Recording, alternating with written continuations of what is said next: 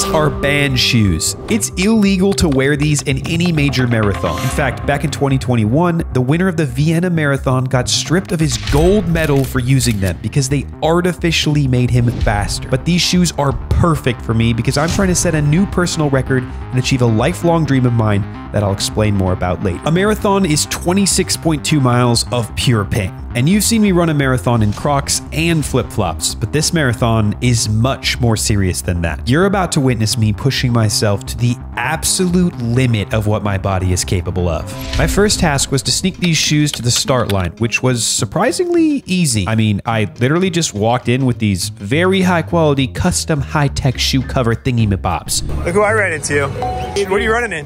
Dude, the Nike pegs, but I'm not go. gonna be running. Check it out. Wait, are those the banned shoes? Banned shoes, baby. Illegal. No. Illegal. I snuck in. I snuck in. The race is about to begin, and my goal in these shoes is to run it in 2 hours and 55 minutes. A personal record. This is it. It's just me, these shoes, and a record to beat. Here we go. Nervous. Pretty cold out here. It's like 35 degrees. I got spears. Mile one. Any advice you got for me?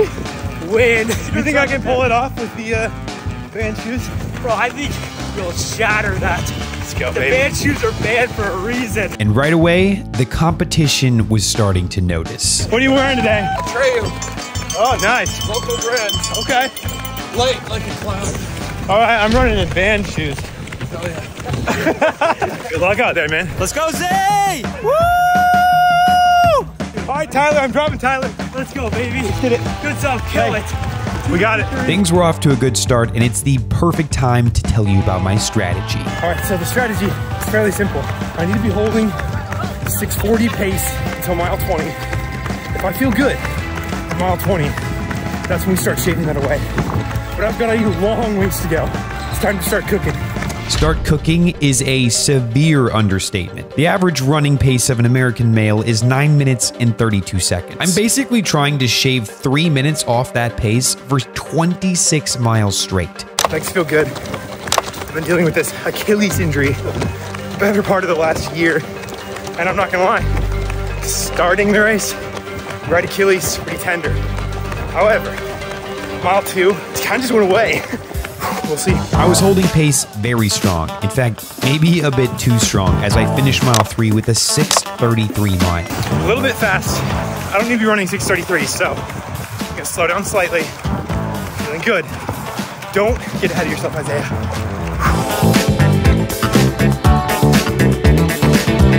Three, get to run downhill. Not so bad. Still a little fast, 635s. Kind of need to slow down a little bit, but I feel good. Don't overdo it, Isaiah. It's very important that I stick to my 640 pace and not push myself too hard at the beginning. I need to save that energy for the end. I really need to slow down. This is too fast. Oh, slow down, Isaiah. Slow down. That's 12 seconds too fast. Mile five, I just took a salt pill. I also took a little bit of water, and I'm going to take my first Maurten gel. Um, I'm going to take a gel every five miles, as well as a salt pill to help with cramping. Oh yeah, you have the vlog, baby. Yeah, I'll do just about anything for the vlog. Let's just say that cramping is a serious issue for me, and I need to do everything I can to make sure that it doesn't happen. Mile 6, and once again, it seems I've tossed my plan completely out the window as I slam down yet another 630 mile. Let's just say that these shoes are causing me to blow right past my goal mile times. Another kind of fast mile, and I just having trouble slowing down. Not a bad problem, but I really do need to keep in mind for later. I'm not even following my own plan. Man, there is nothing better than a hometown race. Really helps you appreciate your city. Austin, Texas. Man, you pretty. Come on. For hydration, I have a very simple strat. Half electrolytes, half water. You can't let yourself get dehydrated. Almost mile seven. Let's go, baby. Mile 7, and I'm finally where I need to be, right around 640. If I just stay here, we're good. Banked up a little bit of time, so I have some stuff to fall back on. It's kind of lonely out here. All alone now. The crowds are gone. You're in your own head. You're starting to think, I don't know if I can do this. Quad's starting to hurt. Achilles is hurting again. Do I have what it takes? Heck yes, I do. No one's gonna believe in you until you believe in yourself. Ooh, yeah. That felt like a good line. Before I knew it, I was at mile eight and realizing that the hills are going to be much harder than I anticipated. Mile eight. Pretty sizable hill here. Ooh, it's tough.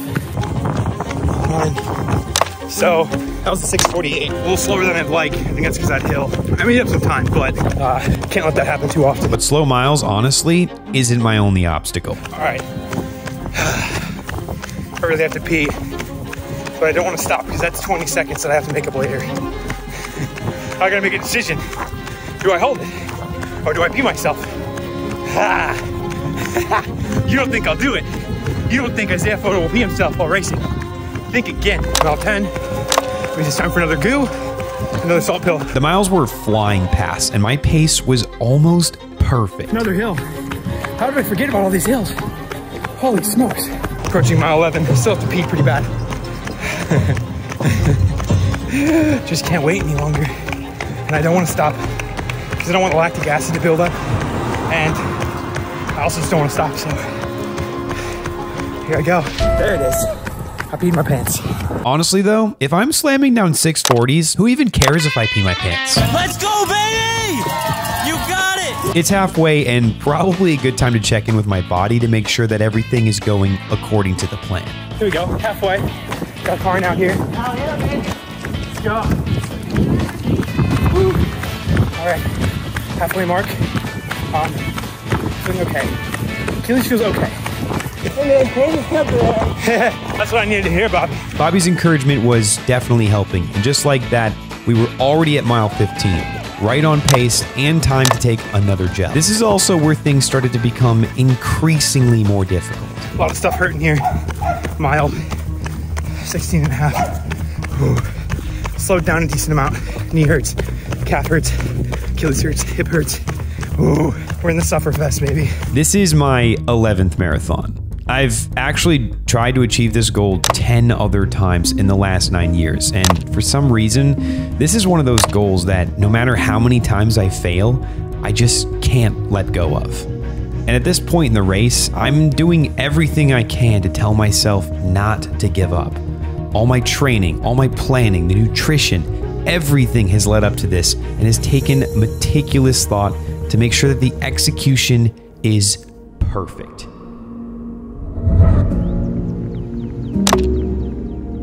Yep, that's me, walking. The pain in my legs was becoming so unbearable that I wasn't able to record much past mile 18. I started to realize that my goal is slowly slipping out of my grasp. I could easily give up right now. Or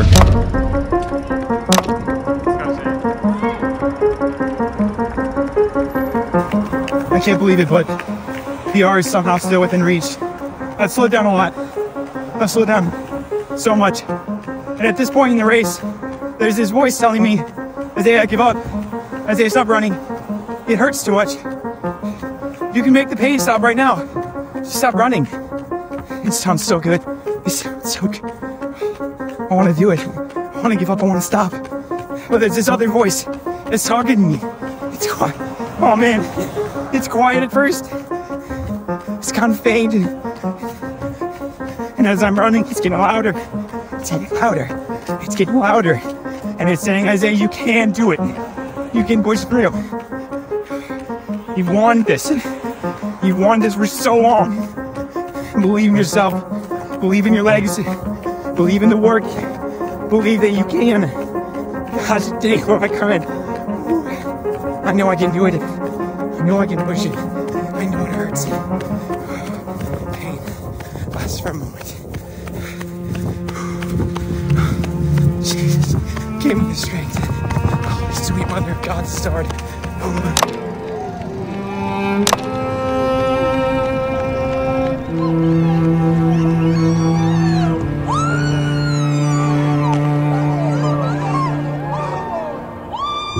These shoes are awesome. I mean, they really do help you run faster, but I realize that they've completely ruined my strategy.